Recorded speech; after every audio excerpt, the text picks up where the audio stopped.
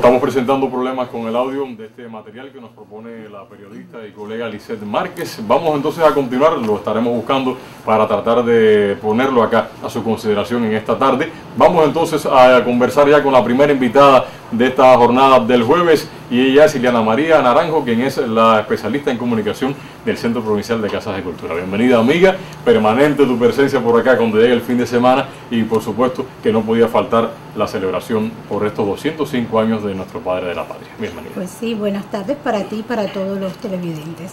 Pues nada, comentarte que bueno, ya desde horas bien tempranas en la mañana de hoy, en las diferentes instituciones culturales de toda la provincia, se estuvieron desarrollando matutinos especiales para rememorar el 205 aniversario del natalicio del Padre de la Patria. También hubo asaltos simbólicos a sectores no precisamente del sector de, de, la cultura para que hasta ellos también llegue la rememoración al Padre. También comentarte que desde la Casa de Cultura de Cauto Cristo se presentó esta mañana a partir de las 9 de la mañana un material audiovisual, esta vez del realizador eh, Manuel Herrera. Esta vez fue elegida de los zapatos blancos para rememorar también la victoria de Playa Girón.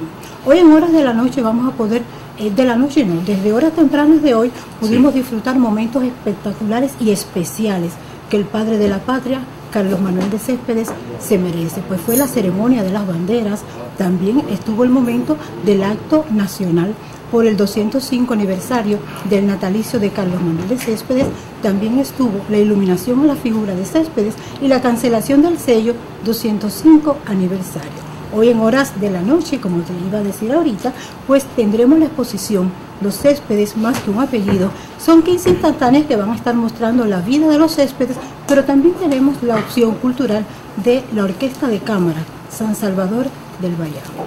Comentarte que también han estado sucediendo algunas actividades en nuestra ciudad de Bayamo y ayer le dimos las buenas vibras y la despedida a la guerrilla de teatreros, Ah, que estará de tránsito por el municipio de Bemazú. También en el día de ayer sesionó la Asamblea Nacional de Balance de la UNEAD.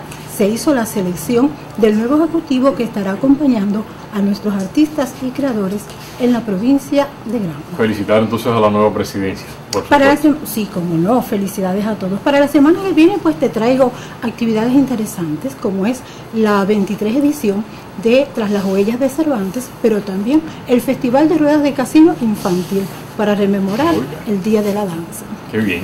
De Bueno, eso también- hablaremos la semana que Sí, viene. no, y también del Día de la Danza estaremos recibiendo las propuestas que nos trae Artes Escénicas porque se prepara igualmente para así rendirle tributo a esta fecha tan importante. Muchísimas gracias a Iliana por llegar hasta acá con estas opciones para el fin de semana y también qué bueno que se insertaron pues en esta jornada Creador de la Patria. Como lo merece el padre de la patria, Carlos Manuel de Céspedes, y por supuesto también con la presencia de varias personas que han llegado de otras partes del país, entre ellos el doctor Joel Cordoví, que estuvo hoy ofreciendo en la Casa Museo Carlos Manuel de Céspedes la conferencia Ética y Revolución en Carlos Manuel de Céspedes justamente, pero para tener otros detalles de la vida y obra de este Patricio Bayamés, tenemos ahora sí el trabajo de la colega Lice Márquez. Adelante.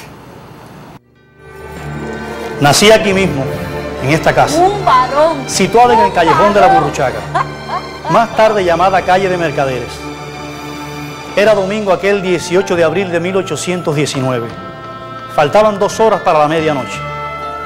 Para entender lo que hemos sido, es preciso volver a hacerlo desde las horas de aquella edad. Perderse en el aroma de jazmines, de hierba recién pisada por cascos de caballo. Qué lejos estaba de imaginar mi destino.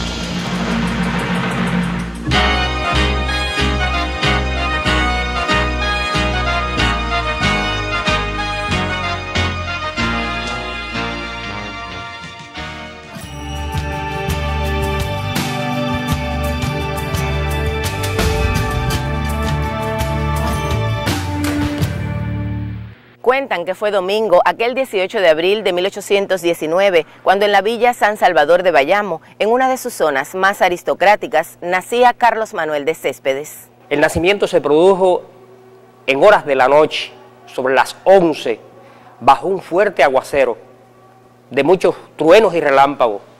Hay historiadores que han planteado que era todo un símbolo, por cuanto su vida estuvo preñada de tantos sacrificios y de tantos avatares, como si la naturaleza también acompañara esa abnegación de su obra y de su vida.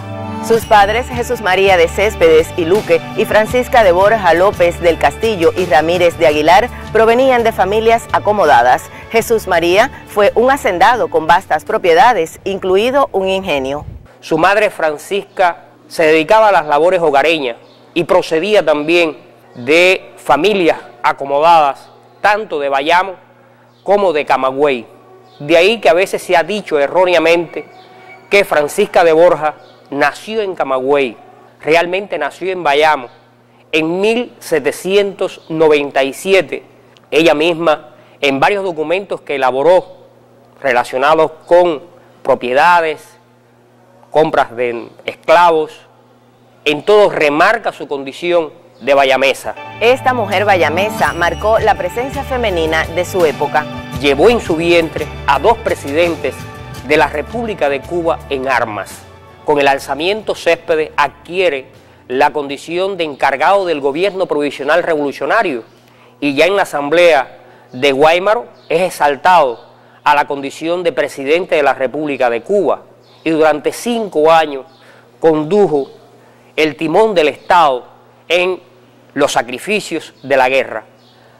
Pero ya en 1876 su hermano Francisco Javier de Céspedes y del Castillo, que tenía la categoría de mayor general y había dirigido durante un buen tiempo la división de Bayamo, es elevado al rango de vicepresidente de la República de Cuba.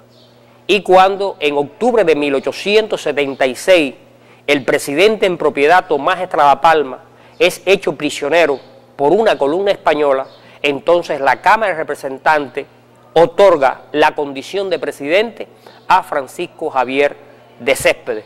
Fue Francisca de Borja la madre de tres generales de las guerras de independencia. En el caso ya mencionado de Carlos Manuel y Francisco Javier de Céspedes, pero nos queda el menor de sus hijos, que es Pedro María de Céspedes del Castillo, quien ostentó la condición de general de brigada de el Ejército Libertador. En una típica casa criolla, hijo de familia adinerada, había nacido el hombre que más tarde se convertiría en el padre de todos los cubanos.